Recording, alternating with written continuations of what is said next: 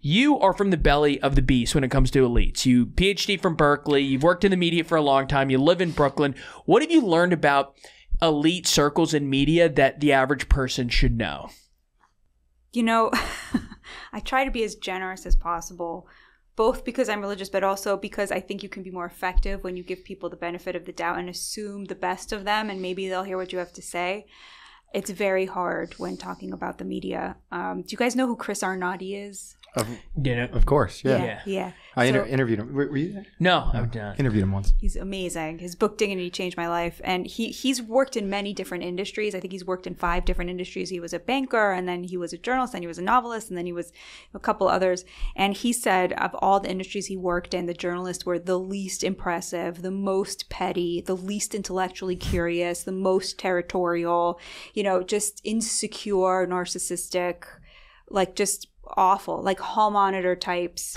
but like who like are you know like who are pretty sure that like they're not as smart as the next guy but working really hard to make sure nobody knows that. You know if narcissism is like defined as like the the unquenchable thirst for unearned recognition that is the media and they're waging war on the working class. It's class warfare like make no mistake about it. They are terrified to let anybody outside their class have their say because they are worried it will be the end of their reign. And they really believe like i said we started with this like that if you don't have a credential you don't you're not a full citizen. And so they would never let working class people back in. Journalism used Right. to be a working class trade. You don't learn how to do journalism in in university. There's nothing they can teach you you have to learn how to become a good listener and question your biases, both of which our universities are teaching against, right?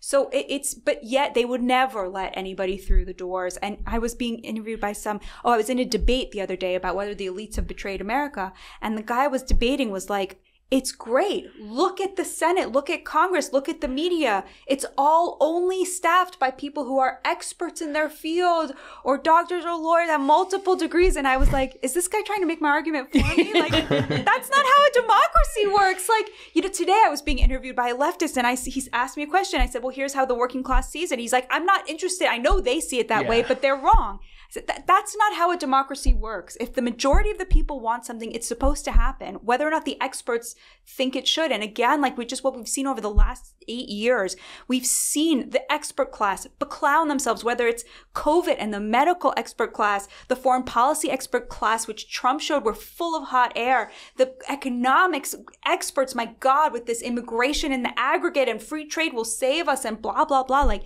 there's nothing there. There's nothing there. A person who's living on a shoestring budget knows more about the economy than any of these experts ever will. We've said repeatedly on the show, especially as Roca has grown a little bit and you meet more people higher up in news orgs in New New York City and elsewhere.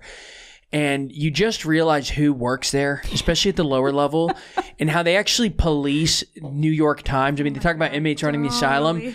The New York Times essentially runs off its Slack board more than anything else, or Twitter gossip, and uh, a, a sort of a culture of self censorship that has led to ideological one sidedness. Now, you also point out New York Times in 2009 almost went bankrupt. So they changed their model, they pushed subscription heavy. Now they have a clear base, they cater to that base, yada, yada. But the types of people who work there just do not reflect America's. I, I wonder what would happen if you did loosen the grips of that over cadet credentialed class honor major institutions from government, but more importantly, the media.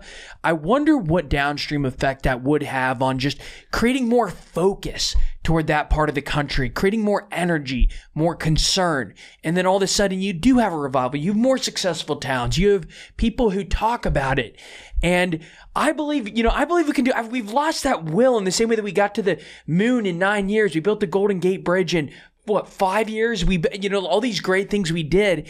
And we've just sort of lost that will. And I wish there was just that umph in DC